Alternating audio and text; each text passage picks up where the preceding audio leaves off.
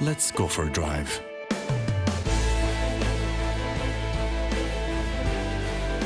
Push button terrain management, a hands-free liftgate, EcoBoost power,